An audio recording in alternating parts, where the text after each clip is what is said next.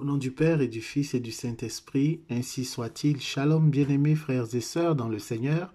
Nous sommes aujourd'hui le mardi 10 septembre 2020. Nous méditons l'Évangile selon Saint Luc, chapitre 6, versets 27 à 38.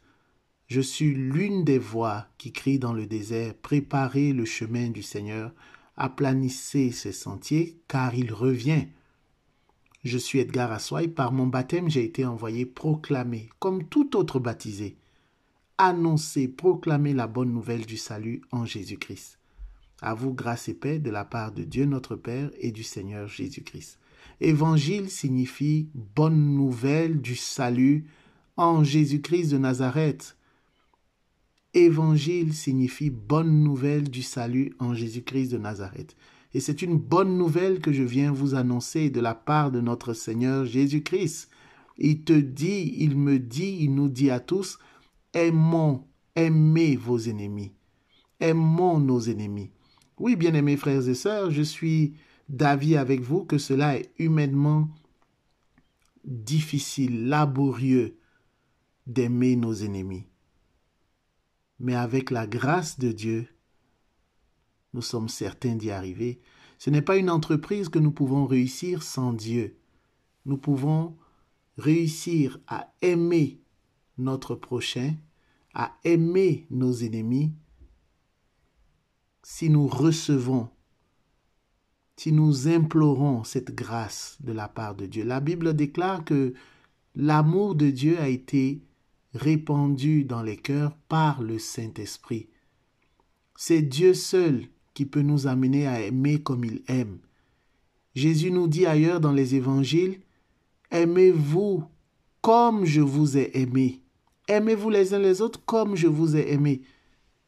C'est lui, c'est sa manière d'aimer qu'il souhaite infuser en chacun de nous. Alors comment aimer, comment parvenir à, aimer de cette manière? C'est d'abord par la, par la prière parce que c'est une grâce. C'est une grâce que nous pouvons recevoir de Dieu, de Dieu le Père, de Dieu le Fils, de Dieu le Saint-Esprit. Et l'amour est tellement essentiel que Saint Maxime le confesseur dit la loi du Christ est l'amour. L'apôtre Paul dans euh, la première lettre aux Corinthiens au chapitre 13 nous parle de l'amour et on voit à quel point l'amour est utile nous pouvons avoir tous les charismes, nous pouvons nous jeter dans les flammes, nous pouvons euh, euh, euh, offrir toutes sortes de dons. Si nous n'avons pas l'amour, nous ne sommes rien, il n'en est rien. L'amour est essentiel. C'est d'ailleurs pourquoi l'Église en fait la première des vertus théologales, l'amour, avec la foi, avec l'espérance, mais l'amour en premier. L'amour est essentiel. Et je le vois aussi dans ma pratique professionnelle. Lorsque je regarde un élève avec amour, il m'est impossible de le juger. J'ai de la misère, j'ai de la peine à dire des paroles négatives à son sujet.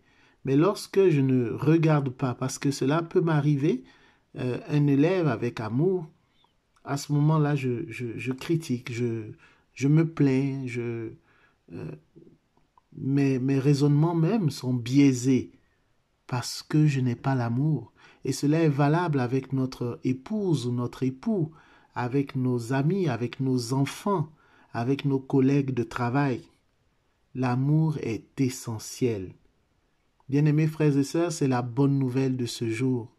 Le Seigneur qui est l'enseignant par excellence ne peut pas nous demander une chose que nous ne sommes pas capables de faire.